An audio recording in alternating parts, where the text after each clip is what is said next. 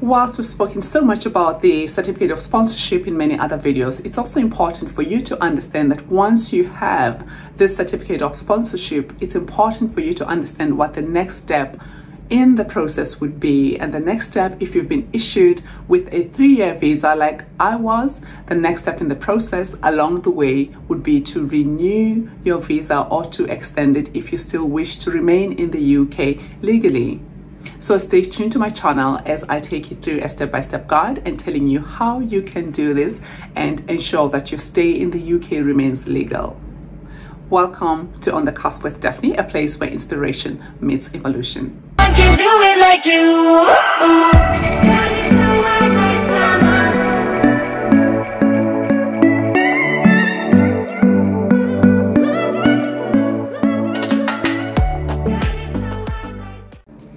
This video is the first in a three-part series where I tell you about how to renew or extend your three-year visa, be it a skilled worker visa, a tier two visa, a health and care worker visa, whatever you want to refer to it as. Names have changed so much over the recent years for visas, how you can renew or extend that. Number two, how you can, when you reach the five year mark, how you can apply for leave to remain in the UK legally and have settlement right and become a permanent resident. I've skipped this middle number because it's actually a step which is necessary in order for you to undertake number three. So this is the life in the UK test that you need to undertake in order for you to be legible to sit to apply for your indefinite leave to remain. So in chronological order, the videos are how to extend or renew your visa in the UK, how to pass your life in the UK test, as well as how to apply for indefinite leave to remain, the steps of which I have taken recently and I'd like to share my experiences and tips with you so when your time comes, it's a seamless process for you, which is the whole point of the channel. Consider subscribing to the channel, like this video and comment below. I look forward to our meaningful engagements. And if you're new to the channel, I'm Daphne. I bring you insights on job opportunities in the UK, support thereof, immigration related matters, health, well-being and all things fitness. Stay tuned to the channel and subscribe to the channel before you swipe left.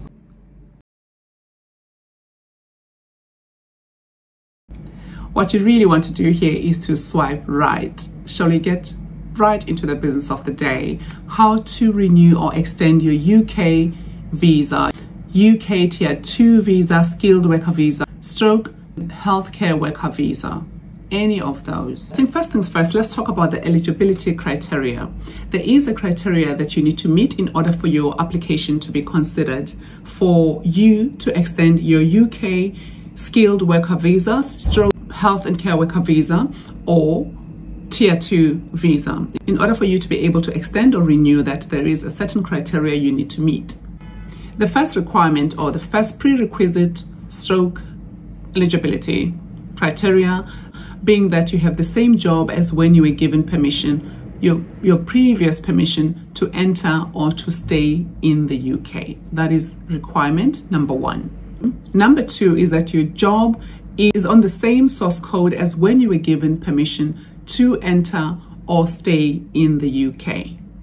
That is criteria number two for you to be able to renew or extend your UK Tier 2 visa, health and care worker visa, or a skilled worker visa, as it's often referred to as. The other important criteria you need to meet is that you are still with the same employer who issued you with your current certificate of sponsorship, which means you cannot walk away with an employer certificate of sponsorship and go and work elsewhere. And when you apply, you say you are with the employer that issued you with your current certificate of sponsorship. Perhaps you are working somewhere where you were not issued with a certificate of sponsorship. So that's a big tip for you to note. Stay with whoever issues you a certificate of sponsorship, or if you do switch jobs, make sure you are issued with a certificate of sponsorship so you're able to renew your job going forward when this time comes to extend or to renew your UK skilled worker visa, UK visa, health and care worker visa. And the last requirement is that you meet the salary requirements, which is often not a big deal. In many instances, you will by virtue of the pay scales for these categories, you will meet the salary requirements. It's unlikely this is a criteria you will not meet if you are with that employer that issued you with a certificate of sponsorship. Because remember, in order for a certificate of sponsorship to be issued, you need to be earning a minimum. There's a particular salary that's been set by the government for you to earn. So there's no way you can get to this point and find that you do not qualify because then you wouldn't have been issued with a certificate of sponsorship in the first place because you do not meet the salary requirements. So this should be the least of your concerns, but just double check it in any case and check what the current numbers are at the time when you apply. Something worth noting is that your dependent partner or children can apply at the same time as you or they can apply at any other time. Do note as well that it's during this time that you're advised not to travel out of the country during this time when your application is being processed. Otherwise, your application stands the risk of being withdrawn if you travel during this time. So learn these things early, plan your life around them. If you have to travel, perhaps travel before you apply for these things or wait until this process is finalized for you to travel and you have all the necessary documentation back because it will make your entry into the UK much more easier. Let's talk about the cost of extending or renewing your UK Health and Care Worker Visa, Tier 2 visa or Skilled Worker Visa. Let's talk about the cost of renewing that. The Health and Care Worker Visa seems to be the one that comes in as the cheapest, if I were to call it that if you renew for a period of less than three years, you are going to pay 247 pounds. But if you're going to be issued with more than three years, if you're going to be applying for a period of more than three years to extend your UK health and care worker visa, you can expect to pay £479. I'm still not sure why you'd want to apply for more than three years when you are already at the three year mark. It's in essence a waste of money because all you need really is two years in order for you to qualify for your indefinite leave to remain. So applying for more than three years sounds almost senseless and I'm hoping nobody is doing it. If you're thinking of doing it, don't do it. Just apply for three years because seriously, even after three years, all you need is two years in order to get to the five year mark where you can qualify for your indefinite leave to remain. I hope this is making sense. And back to the fees, these fees were not until recently with the advent of COVID. Prior to that, I paid, I renewed my visa, just, I extended my visa just before COVID started. And I paid way, way more, close to 1,500 pounds, an issue which I raised concerns with my employer and I was informed they were not able to pay for me. I needed to pay for my own visa. I needed to pay for my own health surcharge. I continued to raise these issues with HR, with my manager, who told me the budget for the unit was not catering for such, but I took it up with HR. Upon which I got told that HR could pay for my human resources, could pay for my surcharge, health surcharge, but I still needed to pay for my visa, which was welcome news. I thought I felt it was meeting each other halfway. However, it didn't come without its conditions. I was made to sign a document that said I could not leave my trust for a period of three years. Mind you, I wasn't even planning to leave in any case. So I did see that as a, as a win-win and did not have any issues signing that document as I had no intentions of leaving in the next two to three years. So it was okay. In the end, I just paid for my visa. At the time when I applied for my visa, it was not so cheap. I spent, I think I paid 479. I paid 479 and the rest of the money was paid for by my employer, HR, for the health surcharge, which ran into more than a thousand, on condition that I did not leave my employment for the next three years or so. I signed documentation um, relating to this. So that suited me just fine. And I saw that as a win-win situation. So it's important sometimes to speak up, to ask what the options are. and In a very diplomatic way, challenge some of the things you're being told. Because initially, initially, I got told that I needed to apply for my own certificate of sponsorship. I thought it was like 20 pounds or something. Initially, I was a bit ignorant and I was like, oh, yeah, it's okay. And she said to me, the HR lady said to me, bring your credit card with you. I was like, oh, yeah, sure. Thinking in my head is only 20 pounds or something. I, although I questioned it, I thought perhaps it's just an amount I can afford to pay just to renew. And when, when we sat down on the day with the two other HR ladies, the one lady was in training, the other one was, that was her thing, her bread and butter. She said to me, the amount to pay for me to be issued with a certificate of sponsorship was 3,000 pounds, was a cool 3,000 pounds. Excuse me? I could have swiped my card, it would have gone through, but excuse me, I'm not paying 3,000 for you to retain me. Who needs who? I mean, there's another hospital just next door that needs my services desperately and they'll be willing to pay for these things. The conversation ended so quickly, I didn't make it a secret that I was going to explore my options and I went straight to my manager's office to find out if this is something I'm supposed to be paying for. There are so many other hospitals. At least I've got two near me within a three minute walk of both where I can be hired on walking in. So I was like, are you sure this is how it works? So it didn't end there. I sent an email to somebody who'd helped me previously within human resources that moved department. I just double checked this with them because it didn't sound right. And I thought, who else is being exploited in this manner. I don't think it was a direct exploitation. I still want to believe that person that asked me to pay 3,000 pounds did not know what they were doing. They were new to the job because in no time at all, within a week or so, I got another very casual email from her. So, oh, Daphne, just to let you know, as if there was never a discussion prior, just to let you know, the trust pays for your certificate of sponsorship. You don't have to pay for it excuse me, this is what I was telling you all along. So don't take anything at face value where it concerns you having to pay for something. Do your research. Although I didn't know enough on the matter, I took it for granted they'll be paying for it. When she said pay, I thought it was a small amount, like 20 pounds. It turned out it was something else. There's so many things I can think of doing with 3,000 pounds than to pay for a certificate of sponsorship. So be vigilant, be aware, speak to other people. Um, at the time, I mean, where I'm working, so many people are so settled, they've already been in the country for so many years. So when you talk to them about these things, they have no clue what you're talking about. But surround yourself with people who know this process, who are familiar with these things. But what helped me was knocking at the right doors, like speaking to human resources at a senior level. That person that helped me previously was now promoted at a senior level, but I found their email in my contact list and sent them an email to verify this. He didn't get back to me directly, but I am assuming he spoke to the junior person new in the role and she got then got back to me with the good news. That's how the story ends.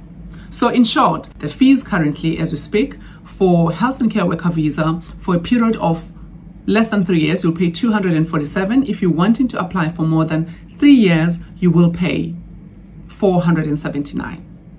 For other skilled worker visa, the fees are slightly different. I'm going to link the government website for each one, the UK Health and Care Worker Visa, the Skilled Worker Visa, and see how much you can be expected to pay. Documentation you'll be required to provide is uh, things such as proof of identity. You'll be obviously needed to provide a current passport, valid passport, and some form of identity will be needed. And I'll attach the information as to what information you need exactly.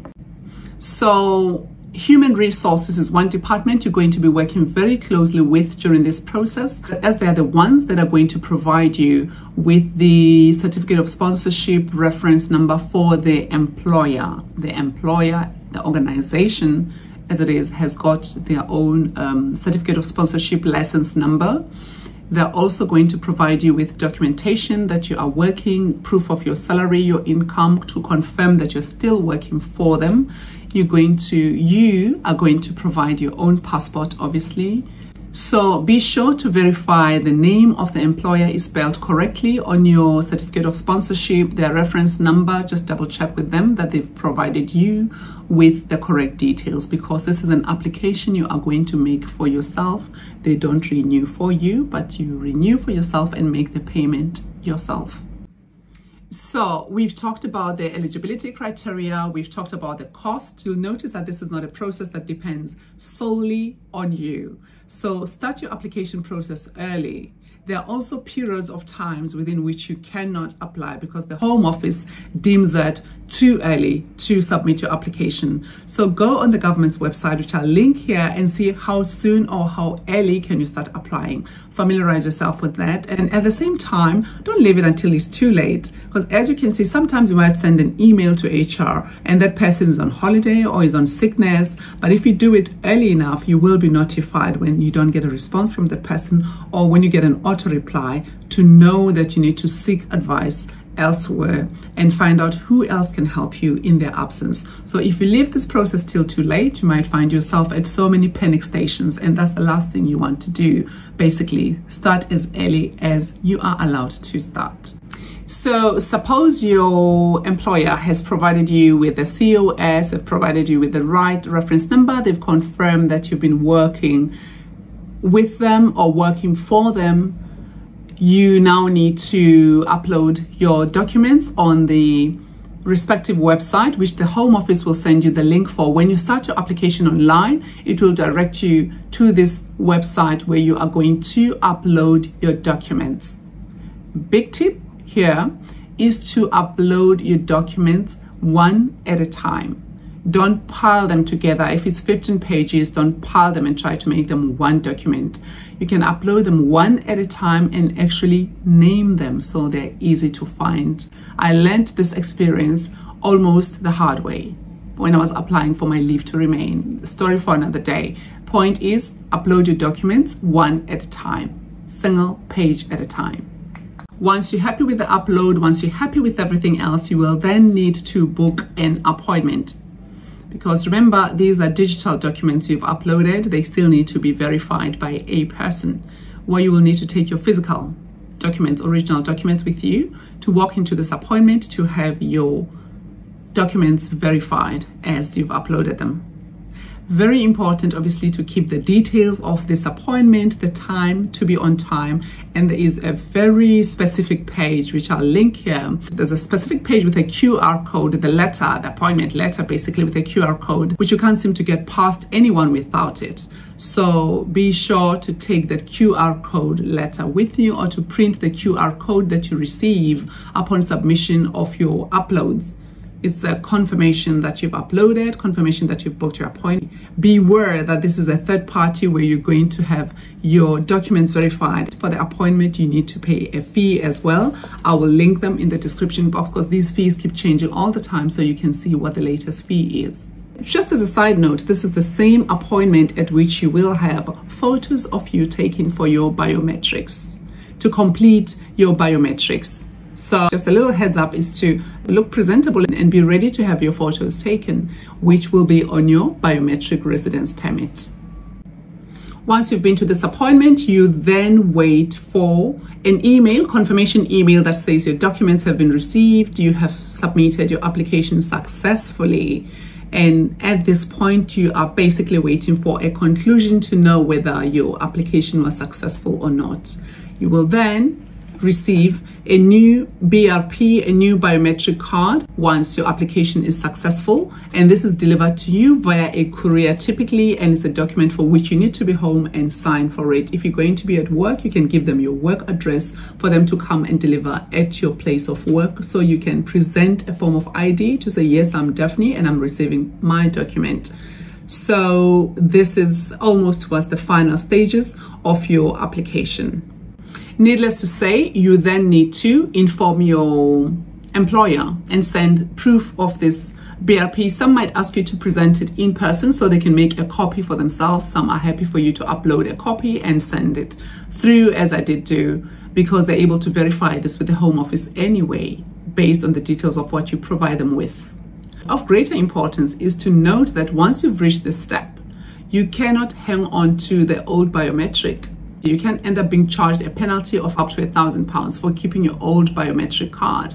What you need to do is to snip it in two pieces and post it back to their home office. Obviously, it's destroyed. I think it's just a control thing to keep less biometric cards in circulation, BRP cards in circulation. So the ones that are in circulation are the valid ones. I think it's just a safety measure and a control measure on the part of the Home Office. And one bonus tip I'd like to throw into this video is to make you aware of the number of days you can spend outside of the UK whilst on this visa. Because when it comes to renewal, those are the kind of things that get looked at. So even if you're on maternity leave, for example, in the NHS, you can even get maternity leave for up to a year. Whilst that is something that you qualify for in terms of your work benefits, find out how it impacts your immigration status whilst you're on this visa. So if it means that you need to spend an X amount of days in the UK, because this changes all of the time, I'm going to ask you to look at the government's website and see how many days you need to be, you can be outside of the country for without impacting your visa. This changes all the time. I cannot give you a number right now, but just be aware that there are those kind of conditions you need to adhere to in order for your visas to be renewed, to be extended, in order for you to be deemed as still being legally within the confines of your visa restrictions. These are things people typically don't talk about and you learn about them the hard way. So I hope this has been insightful and I hope you have subscribed to the channel. Thank you for watching. Don't forget to like and share the video. Comment below. I look forward to our meaningful engagements. Thanking you for remaining on the cusp with Daphne, a place where inspiration meets evolution. Let's continue to evolve on this journey of self-discovery and growth. Lovely to have you on the channel. Remain on the cusp with Daphne, a place where inspiration meets evolution. Thank you for staying tuned. See you on the next one. Light and love.